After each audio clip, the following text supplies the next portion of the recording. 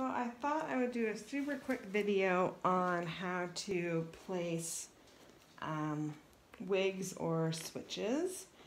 Um, I am not an expert. I've only placed um, switches a handful of times, like literally maybe five or six times ever.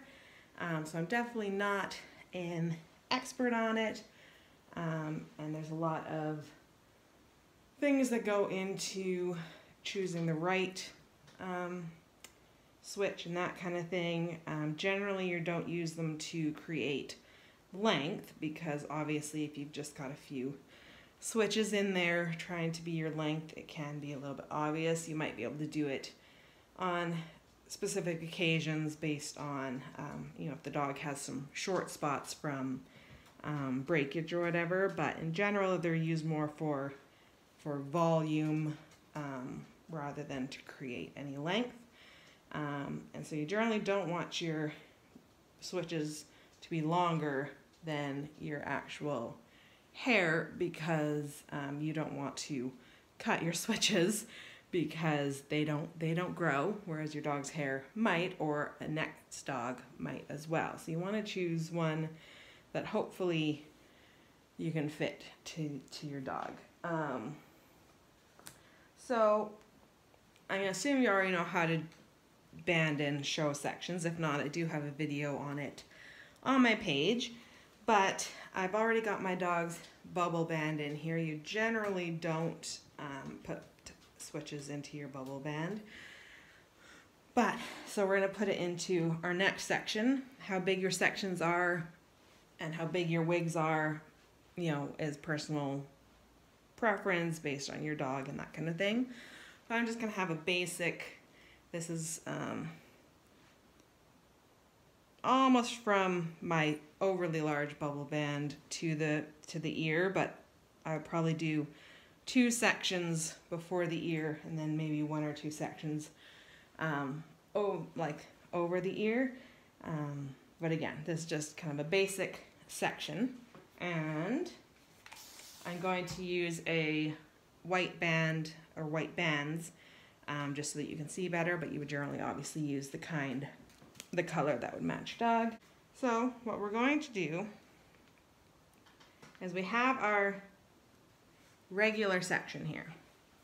What we're going to do is we're going to split this section up. So if you had another comb, you could place that in your hair to hold the rest of it out of your way. There we are. So what I'm going to do is I'm going to split my section in half.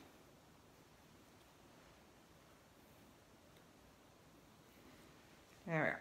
So I've got it split in half. I'm just going to lay the back half back. And I'm going to start with this front section. I'm going to take my band and I'm going to wrap it around the hair. The number of times you do it can depend on how big your bands are, how thick your section is, blah, blah, blah. So I've got my band wrapped around and I've got this extra loop hanging off the back that I haven't wrapped around. I'm going to put my finger inside of there to hold it open.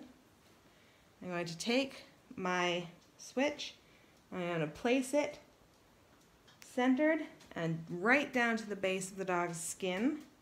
And I'm going to place my band. So I've got the wig here, it's placed all the way down to the dog's skin so that it's going to sit solidly. And I've just allowed this band to fall, which falls about where the um, bands on my switch are. Then what I'm going to do, oops, is I'm going to gather the rest of the section that I took. I'm going to bring it forward so that it wraps around the switch area.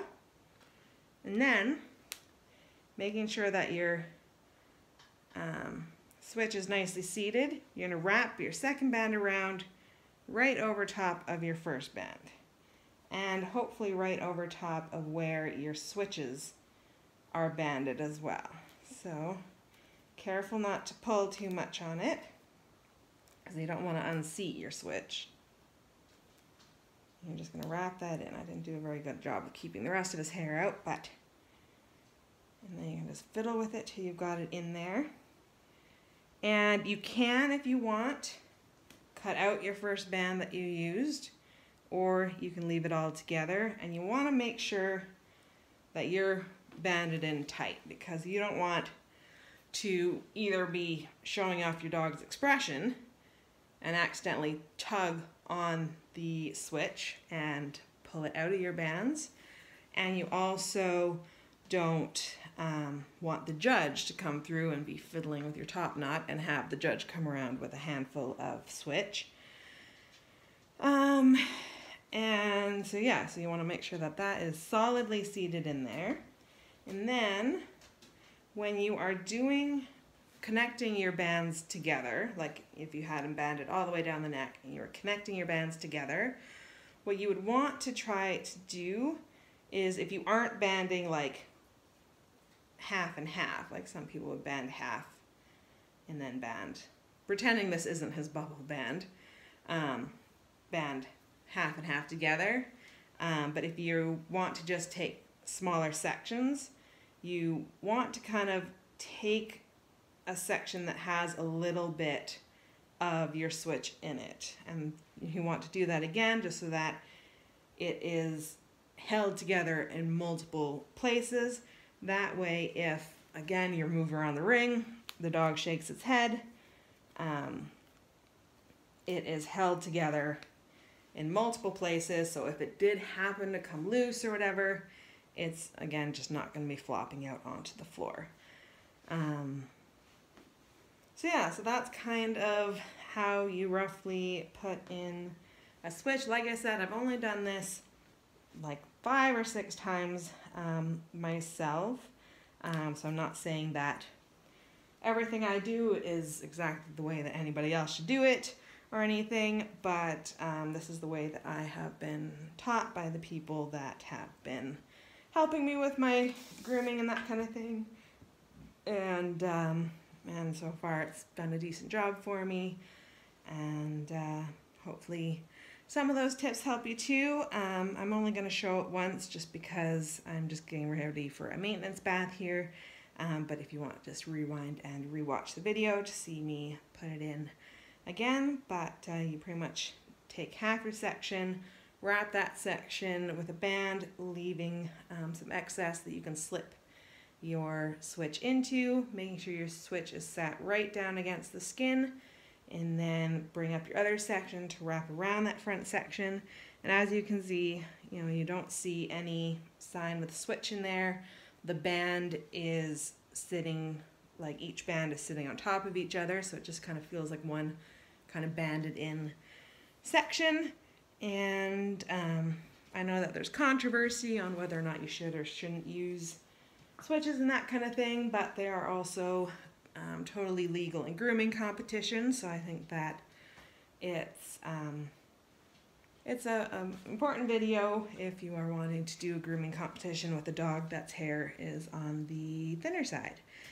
Um, so yeah, I hope that is helpful to anybody who is looking to put in a set of switches. And like I said, um, as far as choosing switches go, I would not want to be the one to explain how because I'm just personally not, like I said, I've done this five or six times and that's it.